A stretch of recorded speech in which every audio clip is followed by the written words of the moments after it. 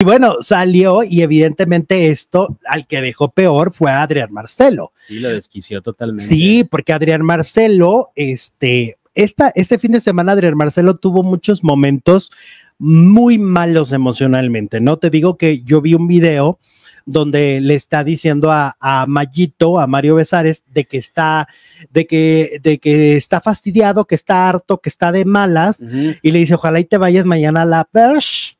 Y Mario le dice, ¿y yo por qué? Estoy conmigo, imagínate a los demás. Exacto, sabes que es que estoy de malas, estoy de malas, estoy, estoy enojado, estoy desquiciado, casi, casi le dijo, ¿no? Y ese fue uno de muchos momentos, ¿no? Eh, en el posicionamiento, él le ofrece aparentemente una disculpa a Galamontes En el sinceramiento. en el sinceramiento, ¿no? Le dijo, este, te- a nombre porque le falta el respeto a las mujeres, también a mi esposa, a mi, a mi mamá, ¿no? Y entonces le dice aparentemente que está arrepentido. Al parecer él tuvo una conversación que según la gente que lo ve el 24/7, él comentó que tuvo una conversación en el confesionario. Y en el confesionario parece que ahí es donde le dijeron lo que estaba pasando con la Secretaría de las Mujeres, Ah, que Sí. ya le bajara. Exacto, por eso es que le ofrece, entre comillas, esta disculpa, ¿no? Eh, en, el, en el sinceramiento y después, cuando Gala es la primera salvada, hace esta jeta que están viendo en la pantalla, esta cara de no sé qué está pasando, Ajá. esa cara fue cuando Gala se salvó, que fue la primer salvada. Y él se dio cuenta, desde mi punto de vista, se dio cuenta que ella era la víctima en la historia y que por eso La salvaron la primero. salvaron primero. Claro, es que todo tiene su mensaje. Ajá. Y, y esa aparte fue como hasta la mitad de que a él le dicen que no se va. O sea, duró un rato todavía ahí este, en, la, en la filita de, de los Es que lo debieron haber dejado a lo último. deberían. Como Deberían. Castigo, ¿no? Ajá. Pero yo supongo que la producción no quiere hacer tan evidente, no quiere darle, no quieren darle la información de que todo el equipo Mar fueron los primeros cinco lugares de votaciones. No quieren ser tan obvios. Eso es lo que me parece que es lo, lo que pasó. Porque si los ponen a, a- si salvan por orden de votos, pues hubiera quedado puro tierra al final. Obvio. Obvio. Ajá. Entre ellos la Canuta, ¿no? También Sabine y Mayito jamás hubiera estado en esa, en esa lista. Ninguno de los de Mar. Ajá. Dice o- Abigail o Lazarano, la Abigail dice que otra vez que, que habrá nuevo habitante en la casa. Se habla mucho de que quieren, de que quieren meter a Sargento. A, Sargento, Rap. Rau, Rap. Rap, ajá, que también es tremendo, ¿eh? Él tiene un carácter bien temperamental, es, y él es muy ordinario, es, es de- no tiene como tanta Y educación. Fuera de los programas también tiene fama de violento, ¿eh? Con su esposa Exacto. con su familia. Sí, tiene unas historias muy fuertes de violencia intrafamiliar. Ahora, ayer en la noche, quienes se desvelaron, les tocó ver esto, esto que están viendo en pantalla, un Adrián Marcelo ya desquiciado, un Adrián Marcelo perdiendo el control emocional y, y bueno, o por supuesto que todo México lo está cuestionando como el peor psicólogo que existe en este país, ¿no? Porque él utiliza la psicología para atacar Ajá. como una herramienta, como un arma mortal prácticamente para los habitantes, ¿no? A nivel emocional. Él utiliza términos psicológicos y diagnósticos, los diagnostica sin que ellos lo soliciten. ¿no? Al interior de la casa. Y entonces le dice a Ara de la Torres que tú esta enfermedad no vas a aguantar porque este, tratándole de bajar el autoestima, ¿no? Tratando de verle el futuro que le espera supuestamente Sí. y que mejor se vaya. Por eso Ara Sí. también dice, ay, mejor me voy. Sí, porque le dice, yo como psicólogo te diría, si supieras, Adrián Marcelo, que fuera de la casa, todo el mundo quisiera quitarte el título de psicólogo, que no, que no, que los psicólogos no están orgullosos de que tú formes parte de su gremio, ¿no? Al contrario, eres una vergüenza. Es que cuando estaba en el sinceramiento, eh, le, le dice a, a Arad que pues Arad es una persona que humilla, que Sí. agrede, que sobaja y no sé qué. Y hay unos memes ah, deliciosos que en lugar de Arad hay un espejo. Oh, Se lo claro. está diciendo a sí mismo. Se está reflejando. Es lo que él hace, es lo Claro. que él dice. Sí, porque es aparte, yo no sé, o sea, él le cuestiona la, la- la- la, mm, enfermedad del alcoholismo. Como si el, el- el alcoholismo es una enfermedad, igual que la depresión, igual que la ansiedad, no la eliges. Nadie, nadie, nadie elige y dice soy feliz por tener ansiedad Y o por amenaza, ser alcohólico. los amenaza con sacarles secretos. Ah, que porque Shanik le dijo un secreto de Arat. Ajá. Ya ves que Shanik, ay, Ay, buena Shanik. Y entonces le dijo un secreto de Arat que podría usar como una herramienta en contra de él. Pero en contra de él mismo, porque pues, eso sería muy bajo. Sí, o sea, va a terminar de hundirse, por supuesto, ayer en la noche, como tú dices, todo el mundo lo quiere cachetear. Esa es la verdad, todos los televidentes. Ara de la Torre me parece que nos ha demostrado que está trabajando mucho en sí mismo Se nota O que sea, cuesta. y está trabajada, pero está, pero está trabajado, ¿no? O sea, se nota que ha ido a terapia, que, Y- que está tratando, está medicado, que está tratando de ser una mejor versión de él Y mismo. tiene herramientas, porque eh, volviendo otra vez a la- al sinceramiento, que Ajá, sí, bien sí. eran mentiras. eh, Ara- cuando, Arad- cuando este Adrián le suelta toda la retalía de cosas de que me das lástima, que no sé qué, qué cosa, Ah, no sé sí. cuánto, eh, le preguntan a Arad, ¿tienes algo que decir? Y él como que yo creo que pensó, si hablo ahorita, le voy a mentar Ajá. la madre. Entonces dijo, no, no tengo nada que decir. Y se pero lo al- dijo después. Al ratito como que ya lo reflexionó, se lo voy a decir así, asá, lo pensó, eh, se relajó y entonces le soltó todo, pero ya más calmado.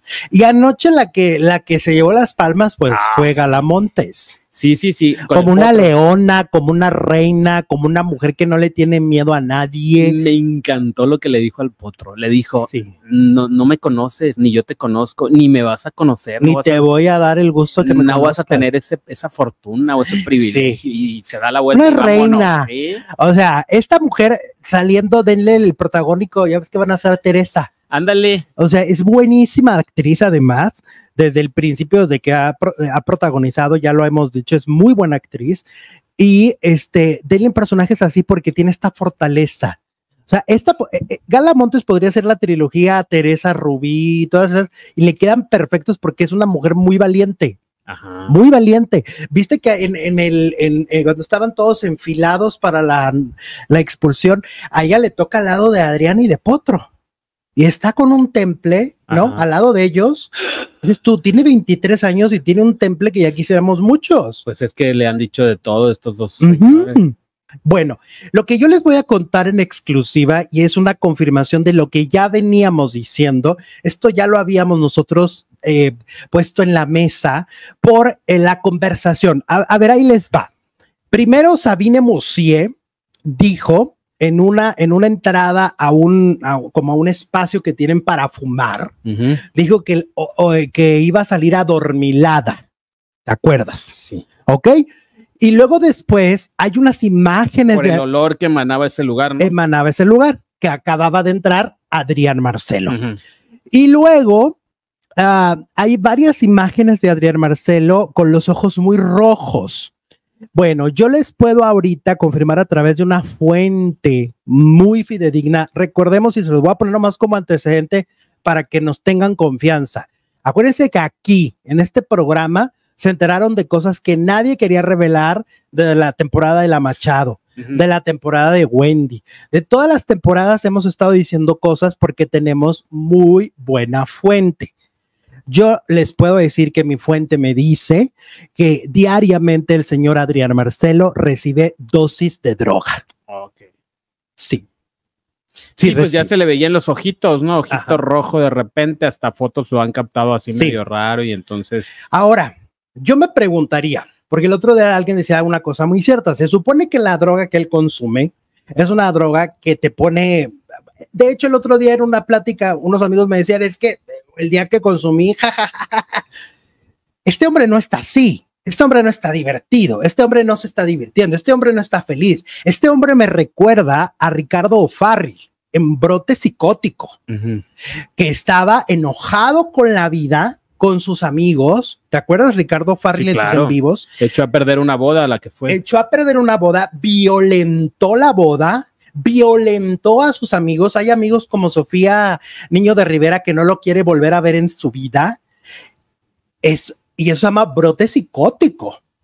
Entonces, eso es lo que a mí, a, Adrián Marcelo se parece más a, a la versión que vimos de Ricardo Farril y a una versión chistosa y a una versión de una persona. Yo no sé si es por el exceso ya de consumo, pero yo les puedo decir aquí que a Adrián Marcelo, él en la fiesta del viernes le dijo a Ricardo Peralta que eh, eh, la producción le daba gomitas el viernes, gomitas de, de, de marihuana, ¿no? Gomitas. No, no solo le dan gomitas, le dan lo que él quiere consumir. Ok. ¿Ok? Entonces, yo vuelvo a hacer este llamado a, porque yo no sé si los ejecutivos de Televisa realmente lo sepan. En una de esas sí, no, ¿eh? En una de esas sí ellos no saben que tienen a una persona consumiendo en su pantalla, ¿no? Y en una instalación de televisión. Y en las instalaciones de Televisa. Que que es por eso lo vemos y como lo vemos. pero es un, como una extensión de Televisa. Es un, Exacto. Al final de cuentas hay un foro ahí pegado. Y por eso lo vemos como lo vemos, ¿no? Porque ahí hay una persona que no está en sus cinco sentidos y me impresiona que él vaya, cuestione, fíjense nada más, o sea, él está ya tan enloquecido que va y le cuestiona, no, es que tú, al- eh, en tu enfermedad, o sea, el alcoholismo de Arad, ¿no? Ajá. Y tú la depresión, pero si tú qué? Si tú estás con una adicción que no pudiste soltarla y tuviste que entrar a la casa de los famosos con el, el- el- la autorización de que te sigan, Es que sí, no, son normales esas amenazas No. que hace, que le voy a hacer que me pegue, No, que le voy a son. hacer que salga, que le voy a sacar el, el demonio que lleva dentro Arad, ¿no? Entonces sí, pues, tiene que haber algo ahí raro. no es normal. Tú lo acabas de decir muy bien. Eso no es normal. Eso no, no, no se ve un, un Adrián Marcelo en, en, en cinco sentidos. Aquí vemos a una persona que, que está más allá de lo que él mismo pueda llegar a decir o hacer. Es, es como una versión totalmente fuera de sí. Versión Chucky, dice Luz. Rojas. Hola Luz, chicos. Hoy Adrián Marcelo, según haciendo pases con Arad. Ah, ya está haciendo las pases. No hay que confiarnos y gracias porque da un respiro saber que no fue por porcentaje de votos que los nombraron. No, no, no, no, no. No. ayer Galilea no lo aclaró, pero ya se ha aclarado en otras ocasiones que es aleatorio. Es aleatorio. Es aleatorio, para que no se me asusten. O sea, Ricardo Peralta, segundo lugar en votos. No, No, no, no. todo el Team Tierra está en De hecho, no creo que Gala sea número uno, o a lo mejor llegó a número uno por las respuestas que dio en el posicionamiento.